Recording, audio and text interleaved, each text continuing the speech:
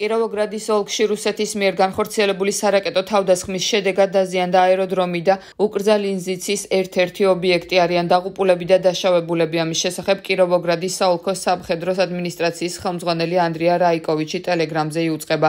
უკრაინული მედიის ცნობით დღეს დილით რუსულმა ძალებმა სარაკეტო თავდასხმა განახორციელეს მიკოლაევზეც, რის შემდეგაც სასაწყობე ფარც ცეცხლი გაუჩნდა. დნეპროვეცკოვის ოლქის ქალაქ აპოსტოლოვზე რუსული ჯარის მიერ განხორციელებული დაბომბის შემდეგ განადგურდა დამსახურებულია სამი სკოლა, რომელთაგან ერთ-ერთი მეცნიერ ალექსანდრ ზალუჟნის სახელობის იყო. ასევე დაზიანებულია საცხოვრებელი სახლები წინასწარი მონაცემებით 8 ადამიანი დაშავდა, სამ მათგანს ჰოსპიტალიზაცია დასჭირდა, მათგან ორი ჯანმრთელობის მდგომარეობა მძიმეა.